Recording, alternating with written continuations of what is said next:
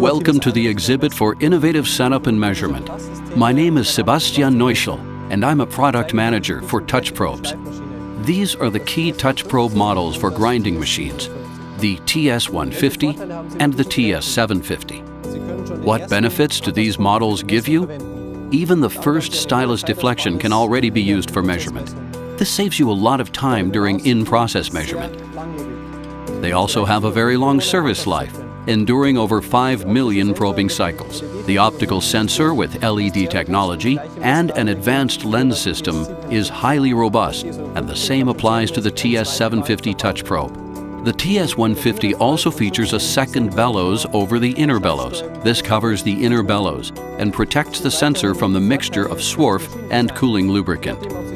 There are also benefits for the machine design, regardless of whether you choose the optical TS150 probe or the high accuracy TS750 probe with low probing forces.